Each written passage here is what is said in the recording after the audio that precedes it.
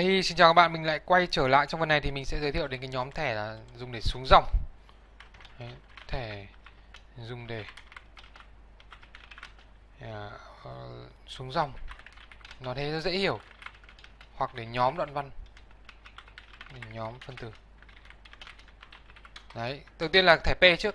P là viết tắt từ paragraph nghe đoạn văn.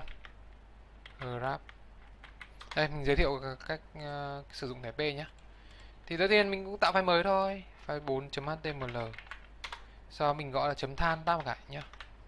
Hay là thẻ xuống dòng.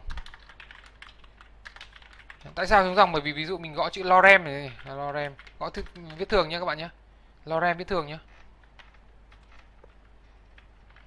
Đấy. Tam một nó sẽ rổ ra một đống text đúng không? Ấn an z cho xuống dòng này. Đấy. Phím tắt mình vừa học phần trước rồi đấy, bây giờ mình gõ vài cái lorem hoặc là giữ shift an an nó xuống này. Ui, nhiều chưa? Đấy rất là nhiều đúng không? An z. Để cho nó lên dòng. Xong không này mình ấn là view trên browser này. Thì như vậy mình có một khối text. Rõ ràng ở đây mình xuống dòng. Enter một cái này. Ra ngoài mình F5 lại. Nó không hề xuống dòng đúng không? Điều đó có nghĩa là muốn xuống dòng được phải có thẻ xuống dòng. Đấy thì trong HTML cái thẻ xuống dòng là thẻ BR hoặc thẻ P. Mình dùng thẻ P trước này. Gõ chữ P này, tab một cái. Thì như vậy là có thẻ P và mình cho cái nội dung cần xuống dòng vào giữa thẻ P này đấy Ctrl X và Ctrl V vào đấy. Thì như vậy là ở đằng sau cái chữ lorem ipsum này này nó sẽ xuống dòng. Ra ngoài mình refresh lại mình sẽ nhìn thấy nó xuống dòng ở đây. Đó. Bây giờ nếu mình đổi thẻ P thành thẻ BIP div là một thẻ số 2 thì phải xuống dòng. Đấy, cũng xuống dòng luôn. Đấy, sau đó mình refresh lại mình thấy là gì nhỉ? Nó cũng xuống dòng nhưng mà nó xuống ấy, xuống một dòng mà nó không bị cách ra. Đấy thì thẻ dip nó xuống dòng nhưng mà nó xuống ít hơn. Còn thẻ P thì xuống hai dòng nó nhiều hơn rồi, như vậy là có hai thẻ xuống dòng rồi, đúng không? Thế đơn, ví dụ như mình muốn xuống xuống dòng chữ sit này chẳng thì mình có thể dùng một cái thẻ số 3 mình xuống dòng thẻ br mình gọi chữ br đây. Tap một cái. Thì như vậy là thẻ br nó sẽ tự động xuống dòng. Thẻ br nó khác với thẻ p ở chỗ là nó có nhiều br thì sẽ xuống nhiều dòng.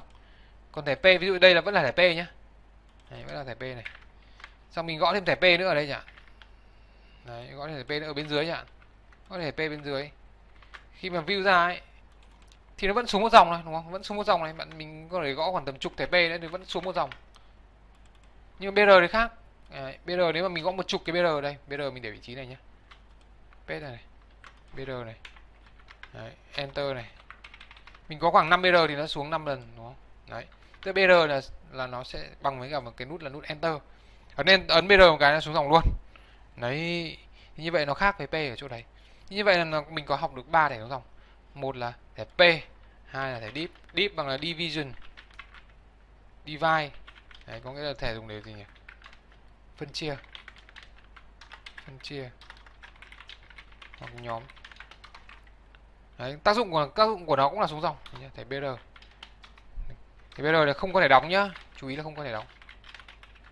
Bình thường là P là đóng như này, đúng không? Mở đây, đóng đây, đúng không? BR thì không có, chỉ cần như này thôi là đủ, đúng không? Đấy, ba thẻ dùng xuống dòng. Ngoài ra H1 H4 2 5 6 cũng là để xuống dòng. Đấy, như vậy là mình ở đây mình học qua ba cái thẻ dùng để xuống dòng. Là ba cái thẻ này. Đấy. Rồi, như vậy là mình dừng video ở đây. Cảm ơn các bạn.